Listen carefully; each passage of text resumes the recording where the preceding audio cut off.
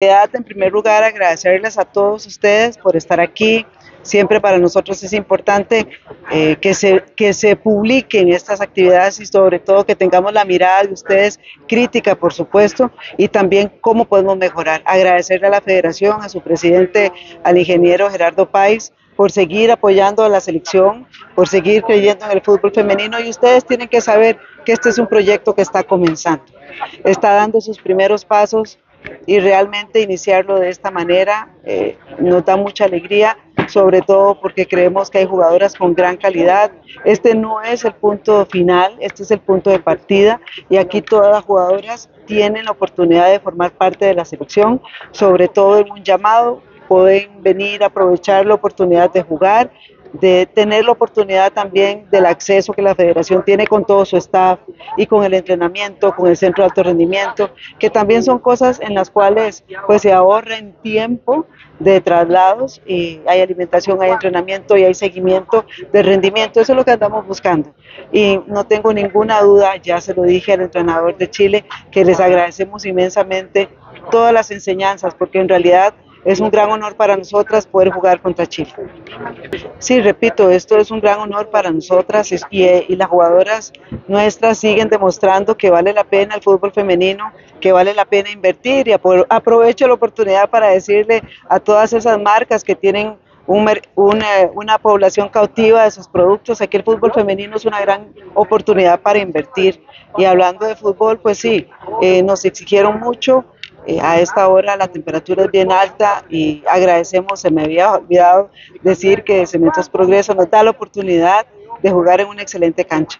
Es eh, de verdad muy lindo sentir ese apoyo y pues el agradecimiento también para ellos que nos dejaron estar aquí casi como en casa.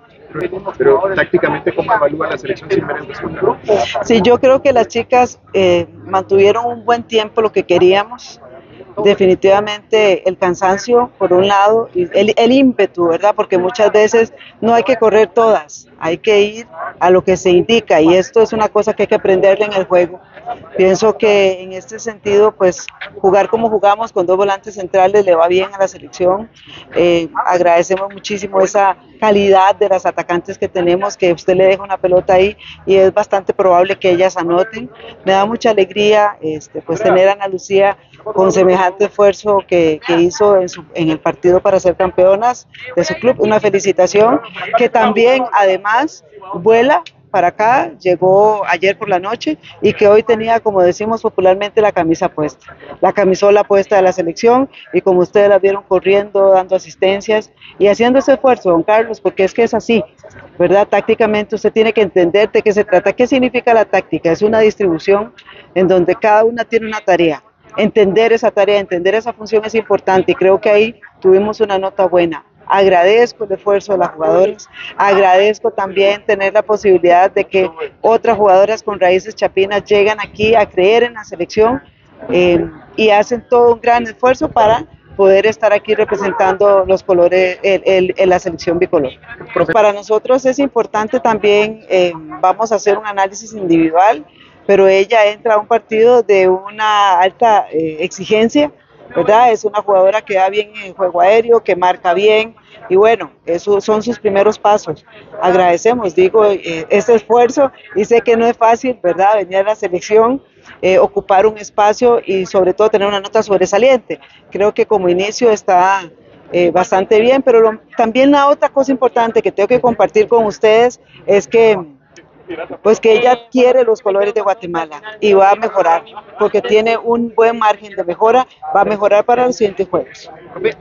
Sí, nosotros tenemos varias jugadoras de selección, pero fíjense que cuando las convocamos, por ejemplo, algunas nos dicen que tienen una maestría y que agradecen la oportunidad, pero que no pueden venir. Ya hicimos unas convocatorias con, con algunas jugadoras, estuvieron en un momento, fueron por cierto al, al de New Jersey, tuvimos dos jugadoras en New Jersey Foot y bueno, esto es parte de lo que les mencionaba anteriormente, que es un proceso abierto. Algunas jugadoras pueden venir, otras pueden venir en la próxima oportunidad. Bueno, esta es la idea, el, compromiso es que volvamos para, para Chile.